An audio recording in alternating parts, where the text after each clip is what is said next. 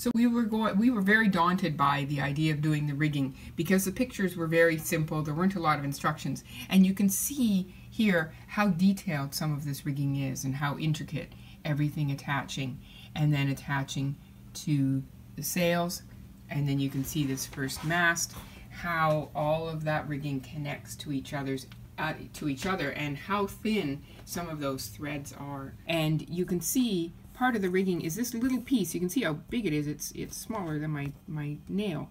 Um, and we had to rig this some of this um, rigging string was as thin as uh, thread that you would use in regular sewing like to sew uh, pants and things.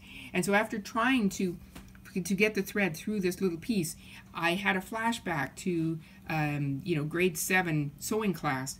And I remembered that there was a thing that you could use to help you thread a needle. And so I went rifling through some old sewing things and I found this little tool um, that uh, I guess is called a needle threader. I don't know if it has some official name.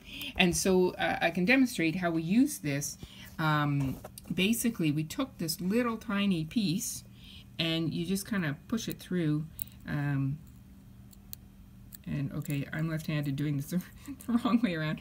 Um, so you can see it's on there and then putting the thread through this larger loop is much easier than through the little piece here. And then you just pull it off and then like magic it's on. So this saved our minds because we had to do a, a million of these